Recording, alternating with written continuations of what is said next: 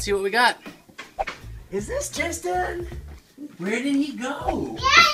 There you are. Hi, hmm. Tristan. What happened to your voice?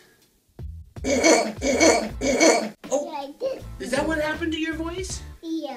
When you breathe in, it goes. That's what you do too? Yeah. When did that start? This morning when you Yeah. woke up? So you were fine yesterday? Yeah. Yeah. So you know what's happening?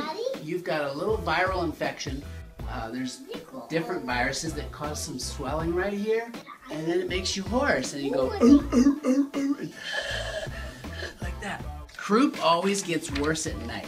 So in this situation where you've got a significant stridor, that noise that you have, we're going to do a little bit of a steroid. Now you can do an oral prednisolone, you can do oral, oral decadron, the same one that's used to inject. You can also give orally, which is what we're going to do today. You don't have to give as much. Prednisolone tastes horrible. There are things like Orapred, which comes in a dissolved tab, or a liquid, tastes a little better.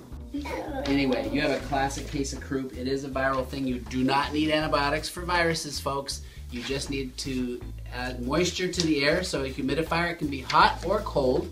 And sometimes if it's really misty out, you just go outside. You, some people drive into the hospital with the window down in the mist and they get better. They get to the hospital, they're all better.